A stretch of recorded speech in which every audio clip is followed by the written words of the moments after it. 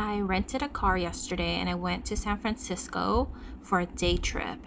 And how do you pay for your Bay Bridge fee online if it's not your car? So I went on Google and I went on FasTrak Bay Bridge. FasTrak, F A S T R A K, but I'm sure if you type in fast and track, it'll come up. Anywho, so there's a Bay, Bay, Bay Area FasTrak, but there's a FasTrak there and then you just go to the one-time payment section. So when it takes you to this page just scroll down. And normally the invoice one is the one that you get in the mail. This is the one where you have to do it within 48 hours. So since it's within 48 hours this is what I'm going to do. So pay a recent toll.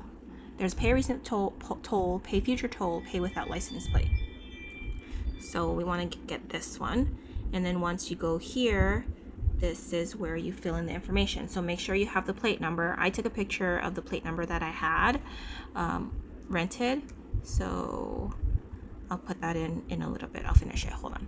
And then once you do that, so it was yesterday's date, 15 around, I got there around 12 p.m. And then you just make sure you know when you crossed and then it says that you have to enter today's date because it does have to be 48 hours.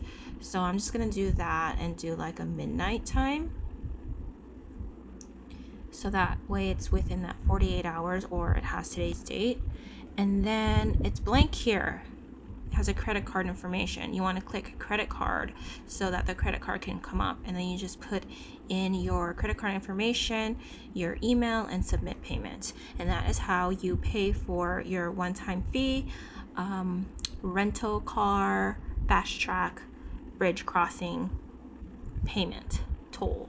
Because if you let this lapse and it and you forget and the rental company has to pay for it, they add on an extra $40. And this is only, I think it's seven bucks or something. So just make sure you remember to pay it. I actually got to see how much the FasTrak Golden Gate Bridge toll fee is. So this is a cost. It's actually about eight, nine dollars. Wow. They're like different timing, I guess. I don't know. But let's just say it's around $9. For some reason, I thought it was 7 bucks to cross.